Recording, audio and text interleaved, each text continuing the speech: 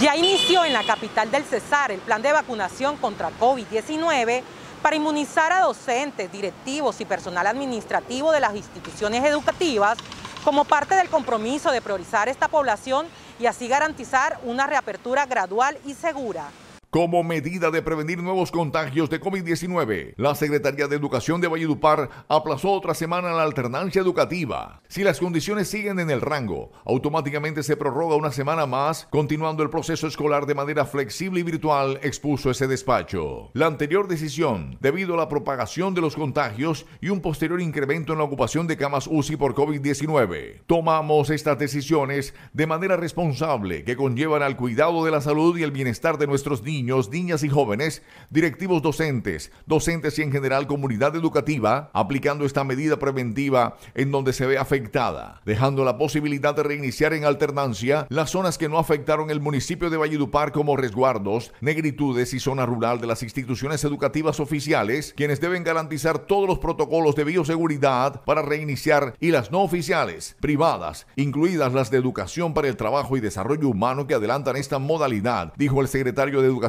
Municipal Iván Arturo Bolaño. El funcionario agregó que se mantendrá la suspensión de alternancia hasta nuevo concepto de la Secretaría de Salud y el Ministerio de Salud y Protección Social.